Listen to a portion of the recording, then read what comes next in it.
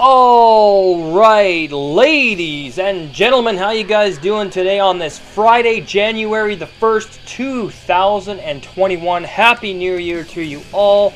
May this be your best year yet. Welcome to another metallic episode of Music of Destruction, bringing you guys the best in metal related content right here on YouTube. If you missed anything in the past week, click that eye in the upper right corner of the screen to get caught up on all of my latest content. I would greatly appreciate that. If you'd like me to review anything within reason, please leave suggestions down in the comment section below. No slam or deathcore bands, please and thank you. I would really appreciate that. Welcome to Metal Album Warfare Fridays here on the channel. This series alive and well. Going to keep these videos coming because I love doing this. So tonight I am pitting two black metal legends head to head once again with Mayhem De Mysteriis Dom Sathanas versus Marduk Heaven Shall Burn when we are gathered. Now I'm pretty confident that you all know the history behind these two legends, but in case you don't, you can check out reviews of both bands in the Metal Album Reviews playlist, though I have yet to review these two albums, but I will be getting to them. To get a biography on each of them, so make sure you go and check that out if you want to know more about Marduk and or Mayhem. Now, Mayhem De Mysteriis Dom Sathanas was released in 1994 on Deathlike Silence Productions, and Marduk's Heaven Shall Burn When We Are Gathered was released in 1996 on Osmose Productions. Now, the reason I decided to go with these two legendary albums tonight is because of how similar they are in terms of atmosphere, brutality, impact, and the overall goal of the, these respective bands and their mission statement within the world of black metal. Now, it's obvious that the aesthetics and notorious reputation for being evil music isn't new to black metal. However, I wouldn't necessarily call black metal evil. What I would say, guys, is instead of calling it evil, I would call it widely misunderstood and misrepresented and misinterpreted. This is, after all, artistic expression and it must be viewed as such without any kind of preconceived notions or ideas about the art itself. But then again, black metal isn't for most metal fans because many of them find it too abrasive and inside the box, so to speak, as some like to call it. But you guys got to remember, this was and still is a rebellion against everything that makes people remember metal, like, you know, the hooks, the grooves, and all that stuff. This is pure artistic expression to create the ugliest, darkest music humanly possible and at certain points unlistenable because of the bad production for most fans. It was response to the rampant commercial rise of death in both thrash metal. So you got to remember that's why this music sounds the way that it does. But I find it ironic that a lot of metal fans don't like this considering they listen to modern tech death like Archspire or Inferi. Anyway, let's get into the video, shall we? First up, we have Mayhem Funeral Fog versus the instrumental here from Marduk.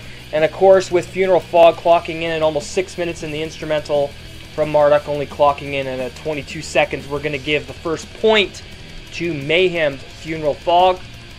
Next up, Mayhem's Freezing Moon versus Marduk's Beyond the Grace of God. And both of these tracks, so fucking killer, dark, atmospheric, heavy, uh, sinister, emotional, meaningful and passionate, but also very similar instrumentally. As I said, both of these albums could easily be placed alongside each other and listened to one after another, and you could easily see the similarities between both bands and styles being played here on these two albums. These tracks are both iconic for each of these bands. Both these albums are very iconic for black metal in general, being that Marduk are the pioneers of the second wave of black metal out of Sweden with Mayhem being, in a lot of cases, the fucking creators of black metal themselves. And I know a lot of people say, well, what about Bathory and Venom and stuff like that? Yeah, they were proto-black, but to me, the very first black metal band is Mayhem. Anyway, both these uh, songs are getting a point from each band because they're both fucking amazing. Next up, we have Mayhem Cursed in Eternity versus Marduk Infernal Eternal. And you know what? Again, two sonic crushing, cold, atmospheric, evil fucking black metal songs with that sonic intensity that you'd expect from both of these bands.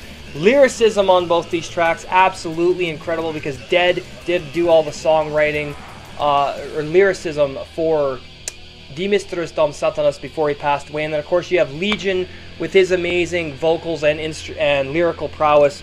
Uh, both of these songs, so fast, heavy, dark, and brutal, aggressive, and cold, and atmospheric, both of them are getting a point. Next up, Mayhem, Pagan Fears versus Marduk, Glorification of the Black God. And as much as I like Pagan Fears, it's not one of my favorite Mayhem songs. I don't know what it is about it. Maybe I just got to listen to it a lot more. But Glorification of the Black God is an absolute monstrous fucking track. Not that Pagan Fears isn't. I'm just a lot more into Glorification of the Black God from Marduk, and I absolutely adore that fucking track to no end. I've probably listened to that song like 150 times in the last three years. Yeah, Glorification of the Black God is going to take the point there. Next up, Mayhem's Life Eternal versus Marduk Darkness That Shall Be. And you know what? Both of these tracks, so fucking incredible, legendary, cold, dark, atmospheric, hateful, black, uh, icy, if you will, and very dark, sinister, and insane. We got some amazing fucking work going on here from both bands, instrumentally, vocally, emotionally, that I got to give a point to both of these tracks. We got another tie. Next is Mayhem from the Dark Past versus Marduk, the Black Tormentor of Satan. Being that this is my favorite track on Heaven Shall Burn When We Are Gathered, this track is so fucking amazing. It's got this amazing dark melancholic uh, riff that's repeated over and over and over again towards the end of the track. It's just one of those songs that stuck with me so fucking hard that I have to give this point to Marduk. But Mayhem's from the Dark Past is no slouch either. That's an amazing track as well. But Marduk's going to take the slight edge on that one. Next, we have Mayhem Buried by Time and Dust versus Marduk. Dracul va, va Domini di Nu in Transylvania. Hope I'm saying that right. Both these tracks similar once again in approach, aesthetic, tonality, atmosphere, instrumentation, vocals, emotion, passion, conviction, darkness. Fucking amazing tracks. Ice cold production on both these albums.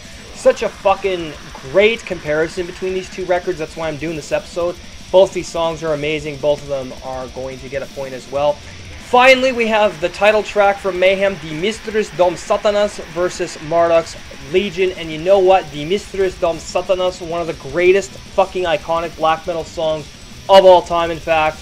That's what you're listening to in the background, along with some Marduk as well, obviously, tonight. But yeah, these tracks, iconic. These albums, iconic.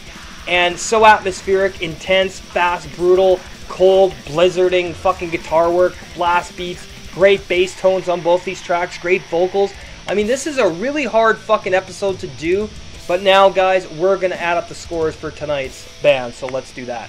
Alright, so Mayhem comes in with 6 points, and Marduk comes in with 7 points. So Marduk gets that slight edge, but uh, not by much, as both these albums are so fucking incredible. So Marduk takes the win tonight here, but as you can see, very close, and these albums are nothing less than legendary black metal classics, and you cannot go wrong with either one.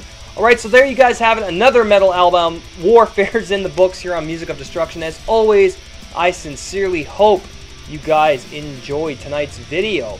And hey, if you're new to the channel, hit the subscribe button, turn on the notification bell so you don't miss a thing when I post a new video. Follow me over on Twitter and Instagram at Music of Destruction. Follow me on Twitch, twitch.tv forward slash Music of Destruction. Join our Facebook group, facebook.com forward slash groups forward slash Music of Destruction. The Seed, episode 28, The History of Iron Maiden, part 1, up on Patreon right now. Part 2 is going up this week.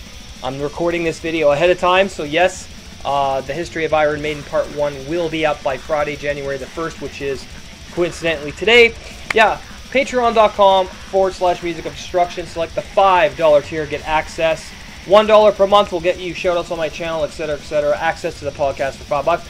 Your support goes to new equipment, lighting, cameras, all that great stuff, as well as our brand new YouTube channel, Reviews on the Run with myself and Colton James. Going to be doing movie and game reviews out there right now, making a new promo uh, we're going to be getting started on that channel by the end of January at the latest, so make sure you guys stay tuned for that. Let's check out a clip of what to expect from the new channel.